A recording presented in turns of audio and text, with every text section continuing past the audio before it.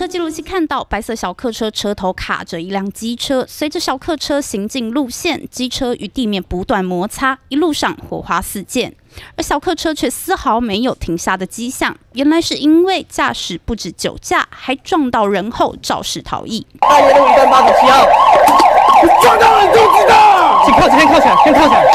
十六号凌晨五点，桃园中正路发生一起警匪追逐。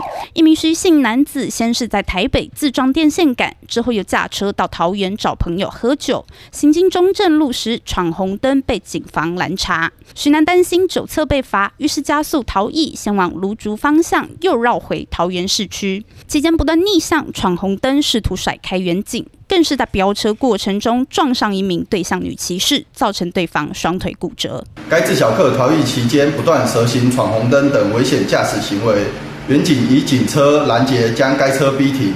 撞到人竟还跑，警方强行压制，警匪追逐终于落幕。徐南九测值零点零九，并没有超标，但心虚拼命逃窜，全案被以公共危险、肇事逃逸等罪嫌送办。受伤的女骑士也被紧急送医救治。